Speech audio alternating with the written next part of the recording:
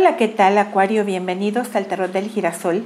Estamos en tu lectura semanal de expareja y vamos a ver cómo podría ir evolucionando esa relación que de pronto se rompió y que te está doliendo. Entonces vamos a ver si existen posibilidades de recuperarla, cómo está esa persona. Vamos a, a obtener la mayor cantidad de información. Vamos a comenzar con Lenormand para ver cómo está esta personita en su vida cotidiana si te está pensando, si te quiere todavía. Vamos a ver qué nos platican de esta persona.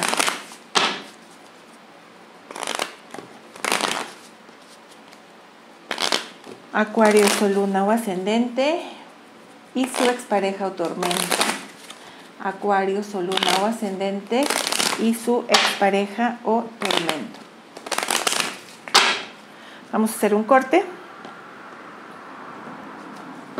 Tenemos el barco, tenemos la montaña y tenemos la casa. Acuario, mm, esta persona es casada, probablemente sea casada, porque creo que el impedimento o el alejamiento que se ha dado, o se dio porque es una persona que vive a una distancia muy grande, probablemente sea alguien que está hasta en otro continente y eso para él o para ella se vuelve muy complicado, o el otro motivo es tiene una familia. Entonces, el hecho de que tenga una familia, tanto el barco como la montaña me hablan de situaciones muy grandes. Entonces, aquí hay grandes obstáculos para poder estar juntos.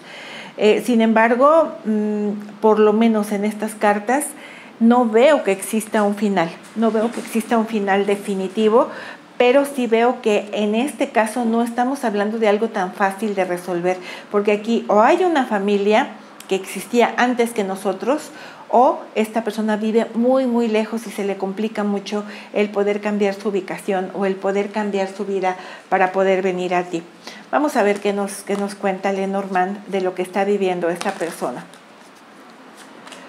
Tenemos los caminos, tenemos el perro, tenemos los ratones, tenemos la serpiente, el látigo y la vara y tenemos los pájaros. En el fondo de la lectura tengo el ancla. Fíjate que con toda la dificultad que existe entre esta persona y tú para poder tener una relación pues como la que tú deseas, existe un gran apego. Esta persona está anclada a tu recuerdo, tú estás anclada al recuerdo de esta persona. Eh, pero esta persona está en una encrucijada porque sabe que el estar contigo representa una traición para alguien más. Él o ella Em, tiene la carta de los ratones y tiene la serpiente. Esto me habla de que el estar contigo implica tomar una decisión, honrar a sus sentimientos, porque esa persona los sentimientos los tiene por ti, pero todavía no tiene claro cuál es la decisión que va a tomar. Creo que esta persona le tiene temor a que al enterarse la gente, tenemos aquí los pájaros, empiecen a rumorar, empiecen a chismorrear, le llegue la noticia a la otra persona que está involucrada en esta situación y... Em, esta otra persona ejerza un castigo con él o con ella. Entonces, como que esta persona lo que le hace falta es valentía, porque los sentimientos están contigo y si él honrara sus sentimientos y tomara una decisión, esta persona vendría a ti, pero creo que sabe que el venir a ti representa una traición, representa una infidelidad, le tiene miedo a la gente que lo rodea y que de alguna manera se ha enterado de esta relación porque le teme al castigo de la pareja. Puede ser que le tenga miedo a la repartición de bienes, que le tenga miedo a que no le permitan ver a sus hijos, que le tenga miedo al carácter explosivo de esta persona. Bueno, son muchas cosas, pero esta persona le tiene miedo al castigo que podría ejercer la otra persona si esta persona viniera a ti. Ahora, vamos a preguntar muy concretamente ocho situaciones diferentes al tarot. Vamos a ver si esa persona piensa en ti, qué piensa con respecto a ti, todo lo que nos pueda decir el tarot. Vamos a ver. Acuario, Sol, Luna o Ascendente y su expareja o tormento.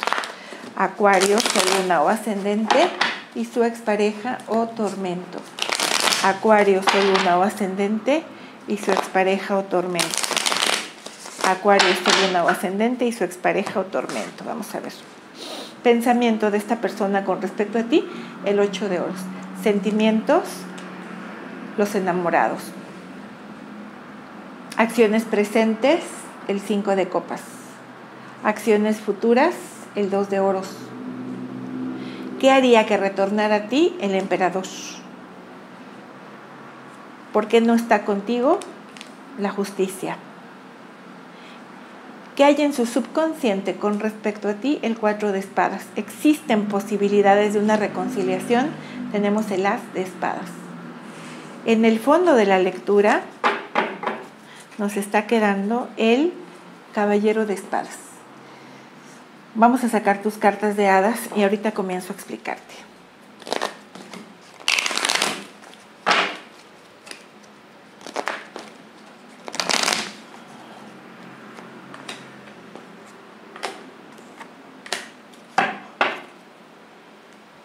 Vamos a ver.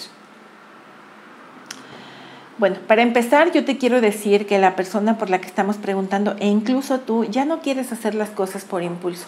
En esta ocasión quieres tomarte tu tiempo para meditar y para poder tomar una decisión que verdaderamente te lleve al camino que tú quieres. Entonces, fíjate cómo, a diferencia de en todos los mazos del tarot, aquí el caballero de espadas está arrodillado, está meditando y tiene un lobo, pero es de color blanco. Significa que está a punto de dominar su sombra y que lo que va a salir es verdaderamente bien intencionado. Entonces, bueno, pues en ocasiones vale la pena esperar cuando vemos que la persona está haciendo una meditación de esta naturaleza. Esta persona evidentemente piensa mucho en ti. Tenemos el 8 de, oros. El 8 de oros tiene que ver con el trabajo. Yo te diría que piensa tan obsesivamente en ti que es como si trabajara para pensar en ti. Entonces sí piensa mucho en ti, piensa mucho en solucionar el problema, en reparar la, la, la relación, en encontrar una solución para esta disyuntiva que está viviendo. Tenemos la carta de los enamorados en la posición de los sentimientos, que me habla de que tienes sentimientos por ti, pero al mismo tiempo hay una indecisión porque él sabe o ella sabe que tiene que elegir un camino y todavía no tiene la certeza de cuál es el camino que va a elegir, pero sentimientos los tiene. ¿Cómo se está comportando? Tenemos un 5 de copas. Esta persona en el momento actual es como si hubiera dado por perdida la relación.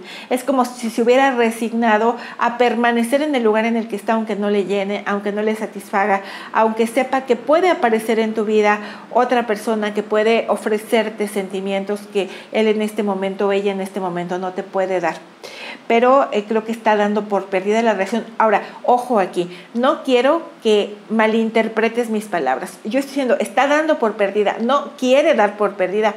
O sea, diferente es querer a dar por pérdida. Cuando yo quiero lo hago de manera consciente y porque es mi deseo que termine la relación. Cuando yo estoy dando por terminar la relación es porque ya no me quedó otro remedio, me resigno. Entonces creo que esta persona está dando por perdida la relación.